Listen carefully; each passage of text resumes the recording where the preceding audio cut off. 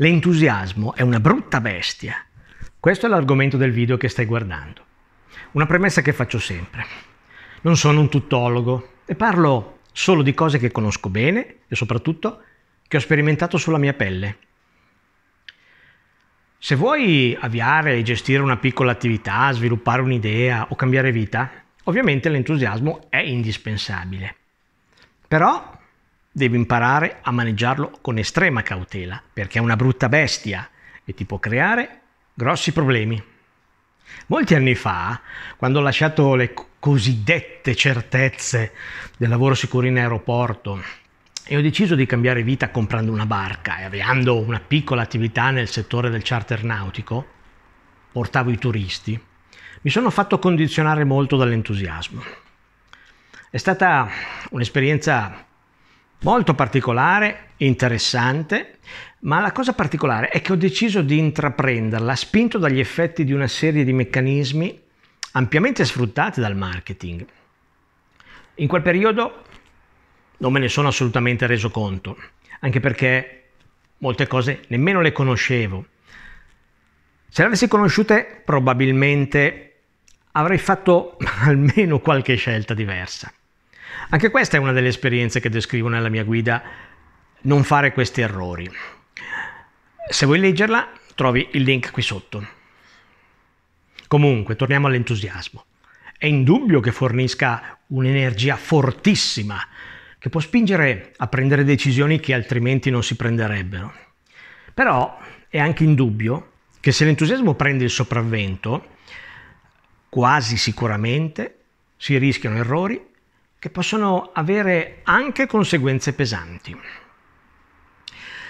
La cosa peggiore è che quando sei in questa bolla creata dall'entusiasmo, non ti accorgi di fare errori, oppure li vedi ma ti illudi di non vederli. Così continui a sbagliare, magari con la speranza che prima o poi la situazione cambierà, oppure accadrà qualcosa che ti tirerà fuori dai guai.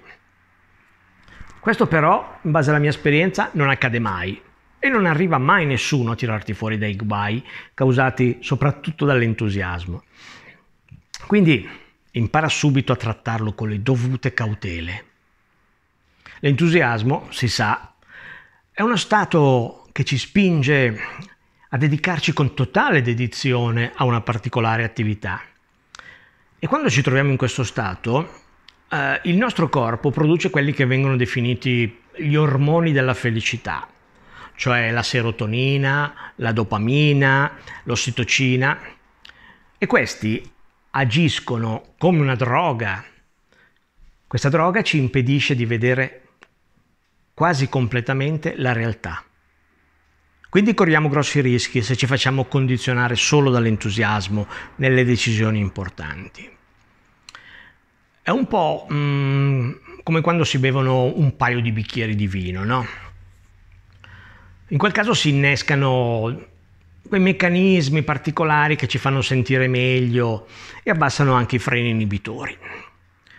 Se però andiamo oltre, gli effetti dell'alcol diventano negativi, no?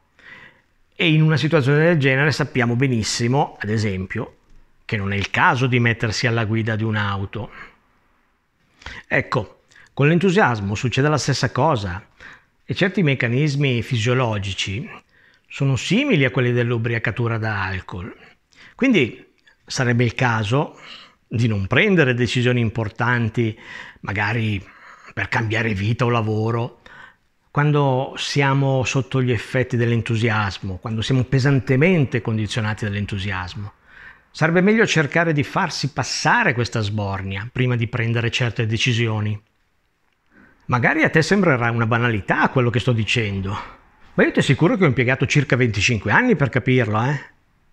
E alcuni errori che ho fatto sull'onda dell'entusiasmo risalgono a non molto tempo fa, quando avevo l'azienda agricola in montagna Guarda i video della playlist 10 anni nel settimo cielo sul mio canale YouTube e vedrai che storia. Molte fasi di quell'esperienza sono state pesantemente condizionate dall'entusiasmo e le cose non è che siano andate proprio bene bene. Eh?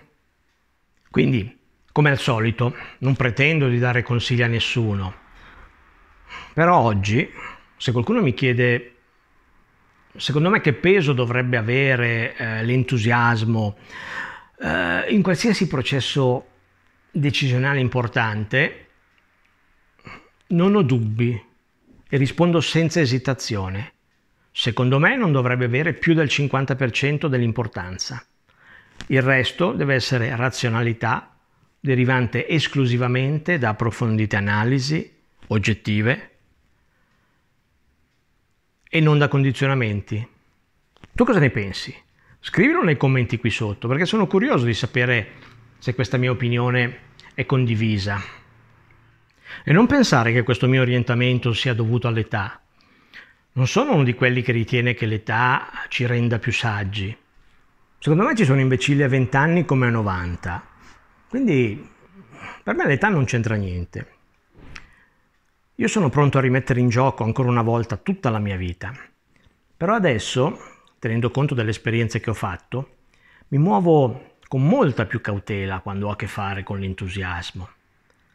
Anche perché altrimenti sarai un imbecille e non avrai imparato niente.